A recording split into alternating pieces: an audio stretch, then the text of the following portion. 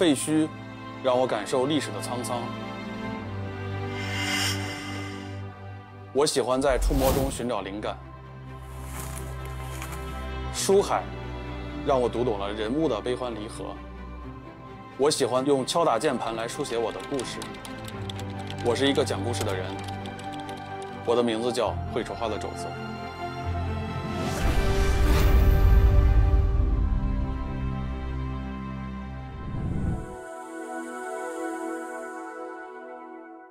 对作者本身来说，最重要的其实是倾诉欲。那倾诉欲怎么来呢？就来自你之前生活所有的不满，以及你怀念的美好。你想告诉别人你经历过什么样的美好，你想告诉别人这件事情不应该这么做。这就是作者的倾诉欲。当哪一天作者没有这个倾诉欲了，他的故事也就不再真诚。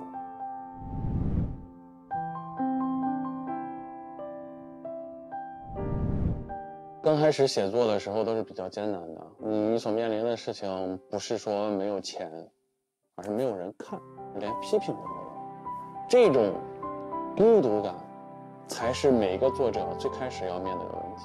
但是我老婆帮我度过了，我老婆注册了一个小号，每天给我评论，每天给我打赏一块钱。我到半年之后偶然看她手机，才知道那个人是她。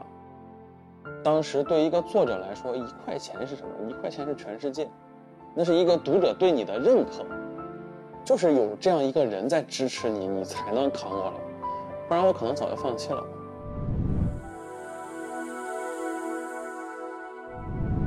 最初的原因啊，是零八年的时候，那时候我还上高三，当时突然看到这个教室的灯开始晃。风扇也开始晃，老师组织我们往楼下跑，都说地震了。然后我们当时以为只是洛阳的局部地震，后来才知道是汶川地震。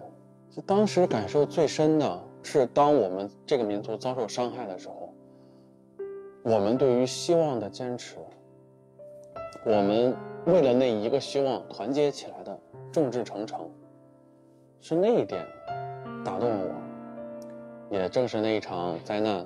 才有了现在这个故事的主题内核，就是想告诉我的读者：当你面临生活的挫折，甚至是灾难的时候，不要放弃，只要有一点希望，就继续坚持。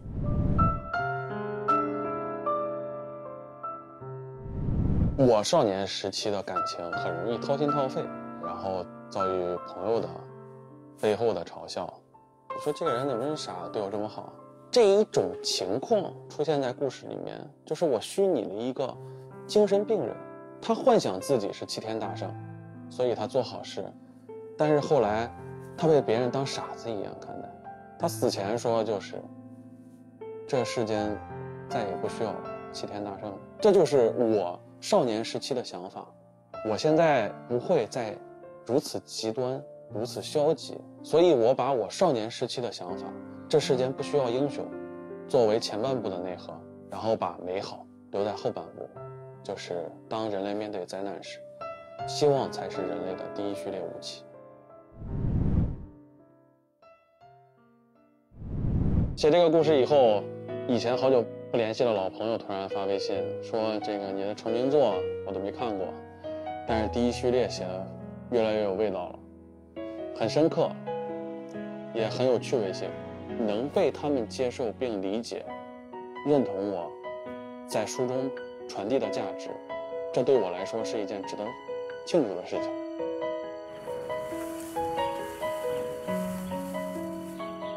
我是一个讲故事的人，我的名字叫会说话的肘子。